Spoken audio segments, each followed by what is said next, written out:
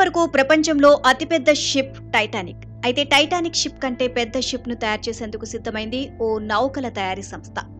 జర్మనీకి చెందిన వెర్ఫ్టెన్ సంస్థ గ్లోబల్ డ్రీమ్ పేరుతో భారీ నౌకలను తయారు చేస్తుంది. ఇందులో గ్లోబల్ డ్రీమ్ వన్ పూర్తిగా సిద్ధమవగా దానికంటే పెద్దదిగా గ్లోబల్ డ్రీమ్ టూ షిప్ నిర్మాణాన్ని చేపట్టింది. ఇందులో ఏకకాలంలో తొమ్మిది వేల మంది ప్రయాణించేంత పెద్దగా దీని నిర్మాణం మొదలుపెట్టారు. గత కొన్నేళ్ళుగా ఈ పనులు శరవేగంగా జరుగుతున్నాయి. ఈ షిప్ తయారీతో ప్రపంచ రికార్డులు బద్దలు కొట్టాలి అనే ఉద్దేశంతో షిప్ నిర్మాణంలో ఎక్కడా వెనక్కి తగ్గకుండా నిర్మాణ పనులను చేపట్టింది వెర్ఫెంటెన్ సంస్థ. ఈ షిప్ తయారీతో ప్రపంచ రికార్డులు బద్దలు కొట్టాలి అనే ఉద్దేశంతో షిప్ నిర్మాణంలో ఎక్కడా వెనక్కి తగ్గకుండా నిర్మాణ పనులను చేపట్టింది వెర్ఫ్టెన్ సంస్థ.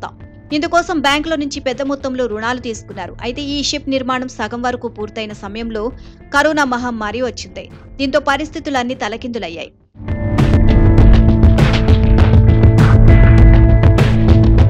కరోనాకు ముందు గ్లోబల్ డ్రీమ్ షిప్ను మేం కొంటామంటే మేం కొంటాము అంటూ ముందుకొచ్చిన సంస్థలు చేతులెత్తేశాయి. దీంతో వెర్ఫ్టెన్ సంస్థ దిక్కుతోచని స్థితిలో పడింది. ఓవైపు నిర్మాణం పూర్తి చేసుకుని అమ్ముడు పోని షిప్ మరోవైపు అప్పులిచ్చిన బ్యాంకుల నుంచి ఒత్తిడి. చివరకు ఒత్తిడి తట్టుకోలేకే తాను దివాళా తీస్తున్నట్లు వెర్ఫ్టెన్ కంపెనీ ప్రకటించింది.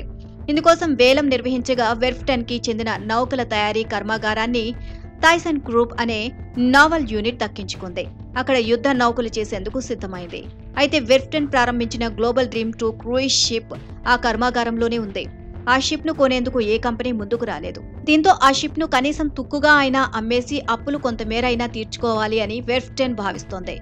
మొత్తంగా వేల కోట్లు పోసి అత్యాధునిక సౌకర్యాలతో విలాసవంతంగా తయారైన global dream two cruise ship చివరకు తన కలల ప్రయాణం ప్రారంభించకుండానే అప్పులు ఊబిలో కూరుకుపోయి తుక్కుగా మారనుంది.